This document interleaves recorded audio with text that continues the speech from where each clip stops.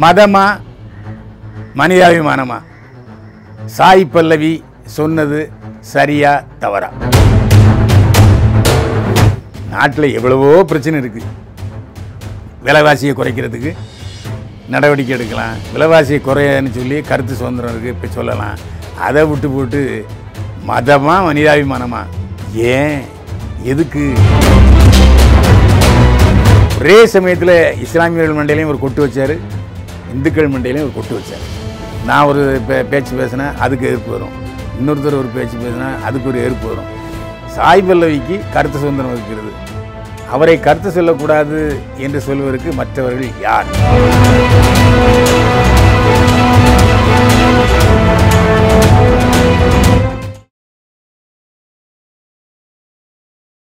People talk நேயர்களுக்கு வணக்கம். என்னை வாழ வைத்துக் கொண்டிருக்கும் யூடியூப் நேயர்களே நன்றியும் மகிழ்ச்சியும். மதமா? மனிதாபிமானமா? சாய் பல்லவி சொன்னது சரியா தவறா? சில நேரங்களில் நடிகர் நடிகைகளும் தங்களுடைய கருத்து சுதந்திரத்தை பேணி பாதுகாத்துக் கொள்கிறார்கள். எல்லா நேரத்திலையும் எல்லா பிரச்சனைகள்லையும் வாய்மூடி இருந்தா அவர் ஒரு பிள்ளை பூச்சியா? நடிப்பார்? அவர் பாட்டுக்கு போயிட்டுருப்பார். அப்படிங்கிற மாதிரி வந்துடும் தான் உண்டு தன் வேலை உண்டு அஜித்குமார் அதேமாரி விஜயும் இப்போ எந்த பிரச்சனைகளுக்கும் கருத்து சொல்கிறதே இல்லை. நடிப்பு துட்டை வாங்கினோமா நடித்தோமா ரசிகர்களை சந்தோஷப்படுத்தணுமா என்ற இதில் போயிட்டாங்க. ஆனால் சில நேரங்களில் கங்கனா ராவத்து போன்ற நடிகைகள் கருத்து தெரிவிப்பதை வழக்கமாக கொண்டிருக்கிறார்கள். அடிக்கடி சர்ச்சைகளில் ஈடுபட்டு கொண்டிருப்பவர் கங்கனா ராவத். சமீபத்தில் சாய் பல்லவி அவர் வந்து பட்டம் பெற்ற எம்பிபிஎஸ் டாக்டர். அவர் வெறும் நடிகை என்று கோணத்தில் நாம் பார்க்கக்கூடாது. மிகச்சிறந்த நடிகை. மிகச்சிறந்த நடன வல்லுனர் எந்த டான்ஸ்னாலும் ஊதிடுவார். அந்த அளவுக்கு. சரி புன்னகை அரசி. அந்த சாய் பல்லவி சமீபத்தில் என்ன பண்ணிட்டாங்கன்னா ஒரு கருத்தை சொன்னாங்க. அதாவது பண்டிட்டுகளை காஷ்மீரில் கொல்வதும் தவறு. பசுமாடை ஏற்றிட்டு போன டிரைவரை இல்லை காரை மறித்து கொன்னதும் தவறு.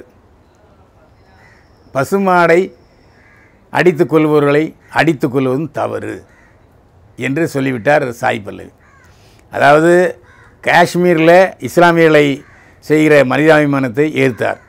இங்கு இந்துக்கள் அதிகமாகி அந்த மாடுகளை கொல்லுபவர்களை அடித்ததும் தவறு என்று சொன்னார் சாய் பல்லவி. இதில் எந்த தவறும் இல்லைங்க. வன்முறை கூடாது என்றார் சாய் பல்லவி. எந்த சூழ்நிலையிலும் வன்முறையை நான் எதிர்க்கிறேன் என்று தான் சாய் பல்லவி சொன்னாரே தவிர சாய் பல்லவி எதுவும் தப்பாக சொல்லவே இல்லை. ஒரே சமயத்தில் இஸ்லாமியர்கள் மண்டையிலையும் ஒரு கொட்டு வச்சார் இந்துக்கள் மண்டையிலையும் ஒரு கொட்டு வச்சார். அவர் இஸ்லாத்தை மட்டும் இஸ்லாமியர்களை மட்டும் வசைப்பாடி இருந்தால் தப்பு. இந்துக்களை மட்டும் வசை இந்து தலைவர்களை மட்டும் வசைப்பாடி இருந்தால் தப்பு. ரெண்டு பேரும் செய்கிற தவறுகளையும் சுட்டிக்காட்டி அது தவறு என்று சொன்னார். இதை நம்முடைய நடிகர் பிரகாஷ்ராஜ் ஆதரித்திருக்கிறார். அது அதேமாரி தான் நம்முடைய கருத்தும். சாய் பல்லவிக்கு கருத்து சுதந்திரம் இருக்கிறது. அவரை கருத்து சொல்லக்கூடாது என்று சொல்வதற்கு மற்றவர்கள் யார்? அவர் சுதந்திரம் இல்லையா? இந்தியா சுதந்திர நாடு தானே? அப்புறம் ஏன் அவரை வசப்படுறீங்க? சாய் பல்லவியை வசைப்பாடுவர்களை நாம் வன்மையாக கண்டிக்கிறோம். ஏன்னு சொன்னால் இப்படியே போயிட்டு இருந்துச்சுன்னா நாட்டில் கருத்து சுதந்திரம் இருக்காது. நான் ஒரு பே பேச்சு பேசினா அதுக்கு எதிர்ப்பு வரும். இன்னொருத்தர் ஒரு பேச்சு பேசினா அதுக்கு ஒரு எதிர்ப்பு வரும்.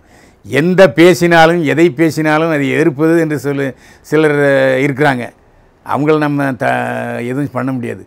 ஆனால் நேர்மையான பேச்சுக்கள் உபயோகம் உள்ள கருத்துக்களை நாம் வரவேற்பது ஜனநாயக நாட்டுக்கு அடுத்த கட்டத்துக்கு போகிறதுக்கு உதவியாக இருக்கும்.